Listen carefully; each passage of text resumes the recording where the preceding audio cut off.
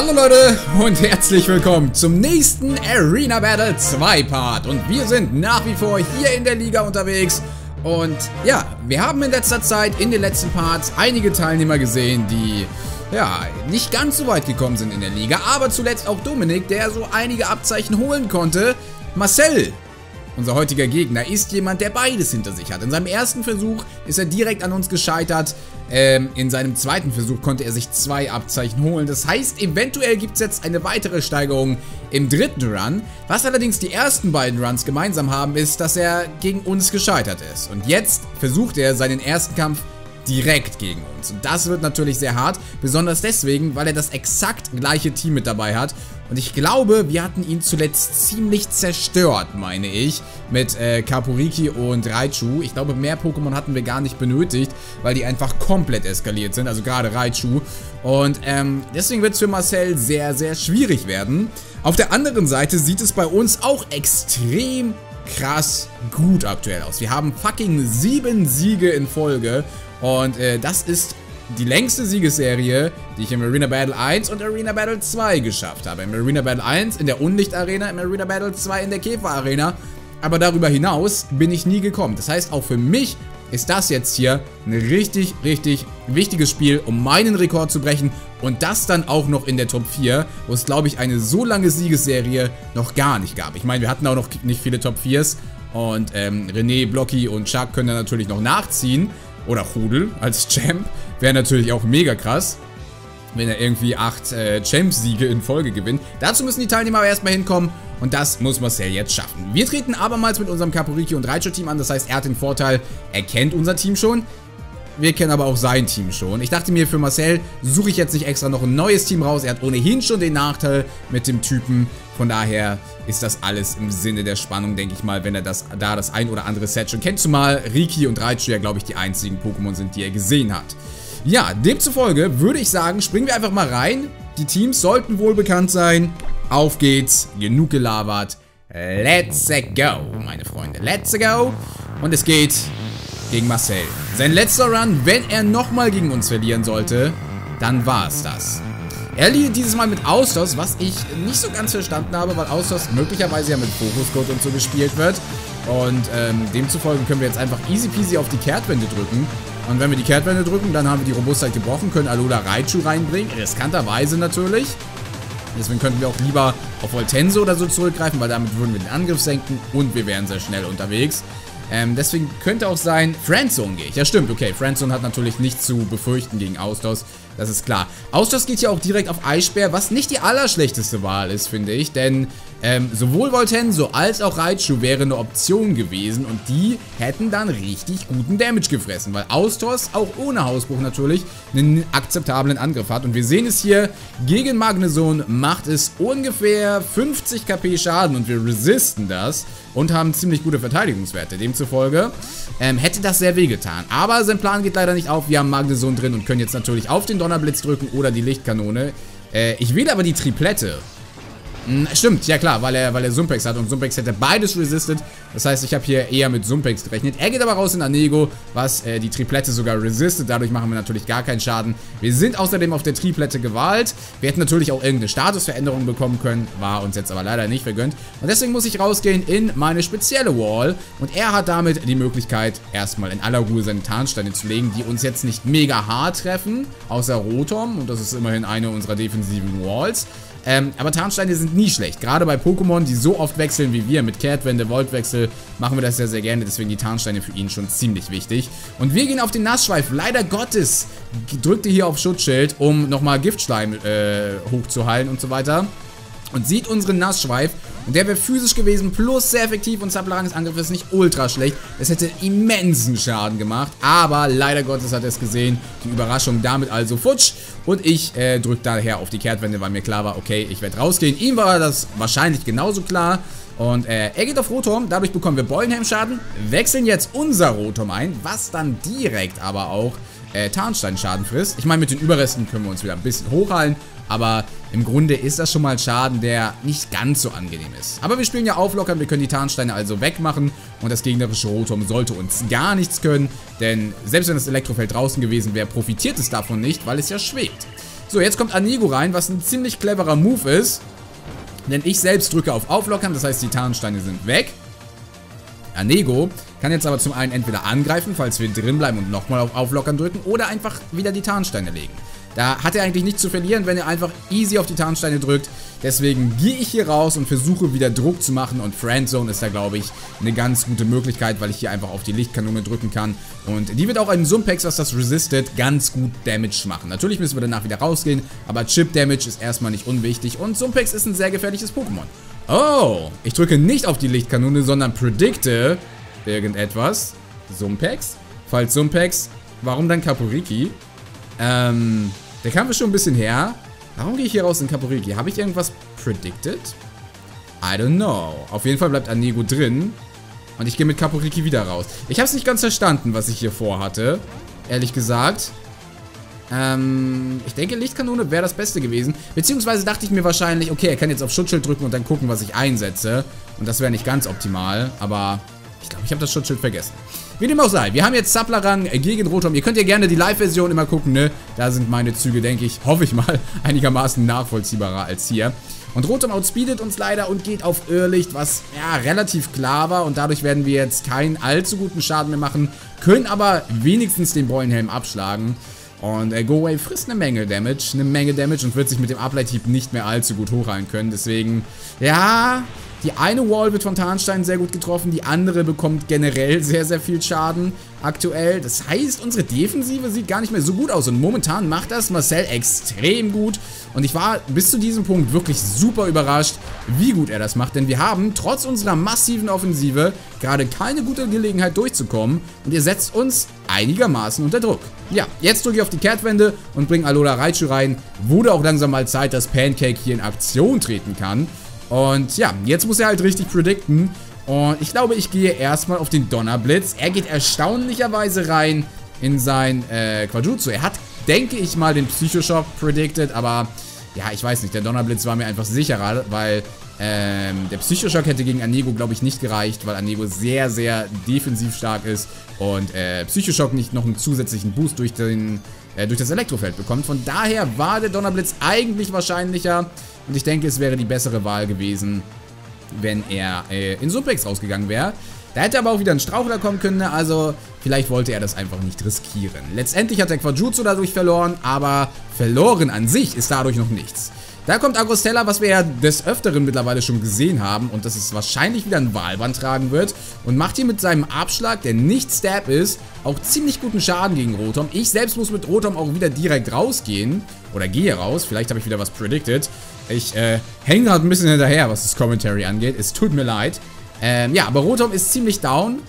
Oh, ich glaube, habe ich den Wechsel predicted? Ich weiß es ehrlich gesagt nicht, I don't know. Ähm, auf jeden Fall sind beide jetzt drin, Kapuriki und äh, Mega Sumpex. Und das ist ein Problem, weil Kapuriki eigentlich nicht allzu viel dagegen machen kann. Das heißt, ich kann nur auf die Kehrtwende drücken, muss dann sehr wahrscheinlich mein Rotom wieder reinholen, womit ich das Erdbeben halt abfangen kann. Aber durch die Tarnsteine dann auch schon super down bin, keine Überreste mehr habe und nicht schneller bin als Sumpex. Demzufolge, äh, ja, wird eines meiner Pokémon sterben. Ich gehe aber nicht in Rotom rein, sondern in Go-Way. Ist relativ egal, glaube ich. Ich glaube, mit Go-Way habe ich noch so ein bisschen die Hoffnung gehabt, die Tarnsteine irgendwie rauszukriegen. Äh, aber ja, ob das klappen wird, weiß ich nicht. Wir können Agrostella zum Beispiel outspeeden. Also da wäre es durchaus möglich. So, ja, egal, was wir reinswitchen von den beiden defensiven Pokémon, eines wird sterben. Und so geht Sumpex hier auf die Kaskade und nimmt unser Zaplarang raus. Und damit, ja, gibt es nicht mehr allzu viele defensive Pokémon. Aber wir haben ja noch unsere Offensive mit Pancake. Und Pancake kann jetzt theoretisch auf den Strauchler drücken, wenn ich nicht predikte, dass er hier rausgehen wird. Und so langsam aber sicher muss ich mal predikten. Ähm, ich glaube, ich kann aber relativ safe auf den Strauchler drücken, denn selbst wenn er in Anego geht, dann machen wir ein bisschen Schaden. Es ist nicht viel, aber ein bisschen. Und danach können wir ziemlich safe auf den Psychoshock gehen, denn er hat kein Quajutsu mehr, was das immunisieren kann. Demzufolge Psychoshock easy, let's go. Er kann aber natürlich nochmal in aller Ruhe Schutzschilden. Und das ist wichtig, dass er hier Schutzschild spielt, denn zum einen kann er sich damit immer wieder hochheilen, zum anderen kann er unsere ähm, Attacken so ein bisschen scouten und er kann damit auch noch das Elektrofeld abklingen lassen und das ist jetzt hier der Fall. Ähm, mit Pancake gehe ich jetzt raus, weil Anego theoretisch schneller sein kann. Und äh, deswegen ziehe ich es lieber zurück, gehe in Friendzone rein. Friendzone hat überhaupt nichts zu befürchten vor Anego. Aber ihr merkt es selbst schon, Sumpex und Anego ist eine ungünstige Kombination. Und er switcht hier auch raus, und zwar in Austos. Und das ist natürlich etwas ungünstig für ihn, denn Austos kann gegen uns gar nichts machen. Und deswegen muss er Austos auch direkt wieder zurückholen und geht jetzt rein in sein Sumpex, wogegen wir nicht allzu viel machen können. Die Lichtkanone wird resisted, aber Trotz mit Wahlglasanalyse sollte das ganz guten Schaden machen. Und ja, die nächste Lichtkanone wird sehr, sehr, sehr wahrscheinlich reichen. Und das ist ganz, ganz wichtig, weil wir dann gegen, Anui, äh, gegen Anego und Austos reinzwitschen können und auf die Lichtkanone Kanone drücken und wahrscheinlich alle Pokémon eliminieren würden. So, jetzt gehen wir rein in Rotom, weil das Erdbeben natürlich klar war. Dennoch, mit Rotom können wir nicht outspeeden. Sumpex ist zwar nicht das allerschnellste Pokémon, aber unsere defensiven Walls outspeedet es dann doch letztendlich. Und damit fällt auch unsere zweite Wall und wir haben jetzt nur noch die Offensive und so ein bisschen Magneson, was aber natürlich nicht allzu viel austeilen kann. So, jetzt war ich so ein bisschen zwiegespalten. Gehe ich hier auf den äh, Z-Sturzflug, um Safe zu töten, oder versuche ich meinen Angriff zu pushen, äh, indem ich auf den Z-Ice-Heap, also Z-Spiegelträg gehe und Ice-Heap kopiere, was ja neutral treffen würde. Und ich glaube, ich äh, gehe jetzt hier auf den Spiegelträg, weil natürlich auch ein Wechsel kommen kann. Klar, teile ich dann keinen Damage mehr aus, aber ich bin dann auf plus 2 und sollte jedem Pokémon wirklich, wirklich gefährlich werden und da Kaporiki jedes Pokémon outspeedet, war das meines Erachtens der Play. Ja, ich bin jetzt auf plus 2, ich kann auf den Stromstoß gehen, krieg, den, krieg das Elektrofeld, den Elektrofeld-Bonus, Boost, wie auch immer und kann damit Rotom One-Shot rausnehmen. Das war natürlich schon angedamaged, aber ja, so ein Rotom ist halt schon sehr, sehr defensiv. Jetzt kommt sein Sumpex rein. Und jetzt wird es endlich Zeit, dieses Sumpex zu besiegen. Es spielt 4 zu 4. Ich gehe auf den Sturzflug, bin auf plus 2. Und demzufolge sollte das gegen Sumpex auch reichen. Ich denke, das war nicht die klügste Wahl, weil, ja, Sumpex wäre schon noch wichtig geworden. Zumindest gegen Magnezone, aber die Frage ist natürlich, was soll er sonst reinwerfen? Austos wäre eine Möglichkeit, weil Austos eventuell noch Eissperr besitzt, eine Prio-Attacke, plus ich den Rückstoßschaden durch den Stromstoß bekomme. Und ähm, deswegen, davor hatte ich jetzt auch Angst und gehe deswegen raus in Magneson, weil ich Kapuriki mit dem Elektrofeld auf jeden Fall noch brauche. Das heißt, Kapuriki darf nicht sterben. Bedeutet, wenn er direkt mit Austos reingegangen wäre, hätte ich mir schon hart überlegt, möchte ich einen potenziellen Eissplitter, eine Prio-Attacke abbekommen, plus Rückstoßschaden, der auch nicht so ganz un... Äh, unwenig ist. Ja, ich weiß es nicht. Da hätte ich auf jeden Fall hart überlegen müssen. So war die Entscheidung für mich leicht. Caporiti darf nicht sterben. Ich muss rausgehen. Das Risiko ist sonst zu hoch.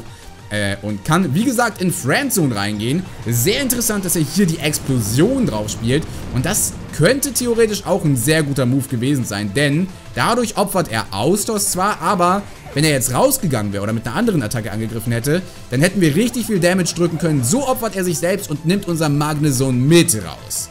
Ja, das heißt, uns bleiben noch drei Pokémon und ihm bleiben, glaube ich, auch noch genau drei Pokémon oder zwei. Ich bin mir nicht ganz sicher. Aber eines davon ist Agrostella und unser Kapuriki ist schon ziemlich, ziemlich down und durch die Tarnsteine können wir es auch nur noch einmal einwechseln. Das heißt, auch das Elektrofeld ist mittlerweile wirklich sehr beschränkt vorhanden und er hat eben noch Pokémon wie äh, beispielsweise ähm, Anego, was dann eben auf Schutzschild noch drücken kann und das so ein bisschen abklingen kann. Ich wechsle jetzt hier hart raus, weil theoretisch der Bunker hätte kommen können. Und dieser Bunker wäre alles andere als geil gewesen, denn dadurch wären wir vergiftet worden und wären gestorben. Ich gehe raus in Jurani.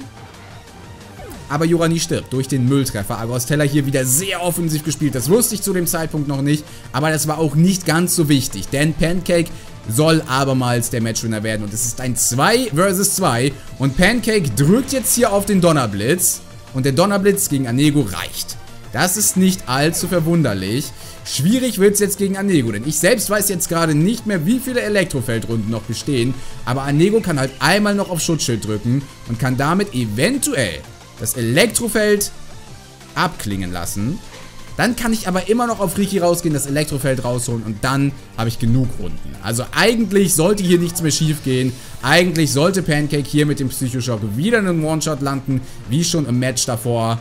Und genauso ist es. Das Elektrofeld endet noch nicht. Wie gesagt, ansonsten wäre es geendet, wäre ich jetzt auf Riki rausgegangen, Riki wäre gestorben und dann wäre Raichu reingekommen und hätte das Ganze beendet. So gewinnen wir, aber unfassbar knapp. Also beide Pokémon nur noch so um die 20, 30 KP ne? und nach Tarnstein äh, hin und her wechseln, wären die beide absolut im roten Bereich gewesen und absolut am Limit und deswegen ein absolut gutes Spiel, das Marcel hier äh, äh, ähm, vollbracht hat. Er hat mich unglaublich unter Druck gesetzt am Anfang. Seine Defensive hat er wunderbar eingesetzt. Also mit Anego und Sumpex. Ich bin da nicht durchgekommen. Ich habe teilweise mich vielleicht auch nicht getraut, die richtigen Moves einzusetzen. Teilweise habe ich es aber auch einfach nur falsch predicted, indem ich auf Triplette gegangen bin, beispielsweise um Sumpex hart zu treffen. Dann kam aber Anego, wodurch das alles nichts gebracht hat. Ähm... Sein Agros-Teller auch mal wieder sehr gut gewesen und hat mein Voltenso einfach rausgenommen. Wie gesagt, war letztendlich nicht mördernd, weil Voltenso eh dazu gedacht war, ähm, entweder komme ich rein und kann ganz guten Schaden machen. Ich wollte dann sowieso mit dem Voltwechsel rausgehen, auf Raichu im Optimalfall. Ähm, äh, oder ich sterbe halt, ne? Und wenn ich sterbe, dann kann Raichu halt so reinkommen. Von daher war das nicht großartig relevant, aber dass Agrostella so offensiv gespielt wird, das habe ich ja schon in den vergangenen Parts gesagt. Das finde ich sehr cool und demzufolge wirklich auch nochmal mein Respekt für dich, äh, Marcel. Sehr, sehr starkes Spiel und äh, bei dem starken Team oder gegen das starke Team war das schon eines der knappesten Matches und das, obwohl du im Typen Nachteil warst und beim letzten Mal so zerfleddert, wo, zerfleddert wurdest. Da sieht man mal wieder, selbst wenn es gleiche Teams sind, es können komplett andere Ergebnisse bei rumkommen. Letztendlich hat es aber nicht geklappt.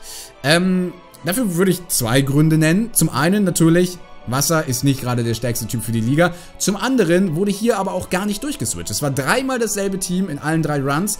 Äh, dadurch kannten einige Leiter, so wie ich. Ich habe eben zum dritten Mal gegen dieses Team gekämpft. Ich kannte das nachher auch einfach schon. Und äh, da wären sicherlich die eine oder andere Überraschung, vielleicht sogar gar nicht schlecht gewesen. Ähm, man hätte sich vielleicht auch noch einen Ticken besser auf äh, Elektro oder so vorbereiten können. Fragezeichen, Fragezeichen.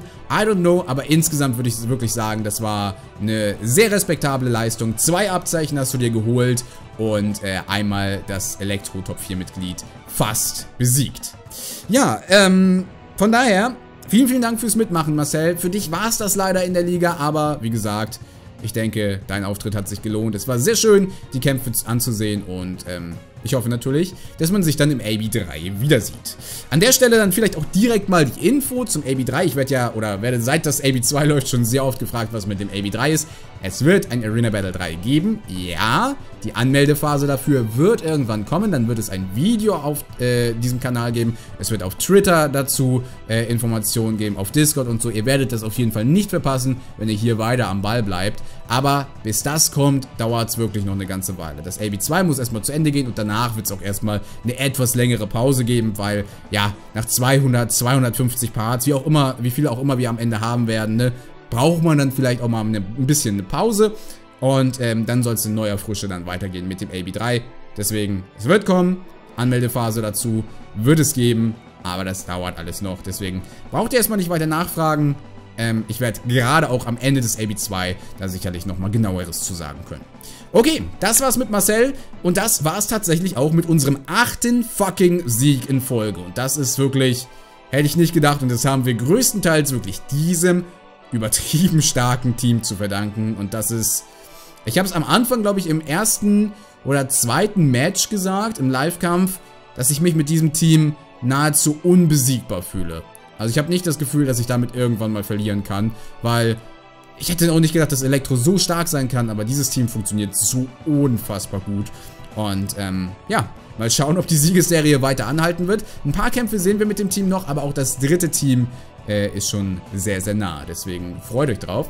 Und jetzt machen wir erstmal weiter mit Kampf Nummer 2. Beziehungsweise war es das für heute schon, denn ich habe einen kleinen Fehler gemacht. Heute gibt es nur einen Solo-Part, ausnahmsweise mal. Morgen dafür wieder ganz normal zwei Kämpfe. Aber das hat jetzt sonst nicht so gut zusammengepasst, deswegen wundert euch nicht. Ähm, ich dachte, es würden zwei Parts geben, aber es gibt nur einen. Deswegen ist hier heute leider Gottes Schluss, aber ihr habt ja sonst auch noch die Live-Version, in die ihr reingucken könnt.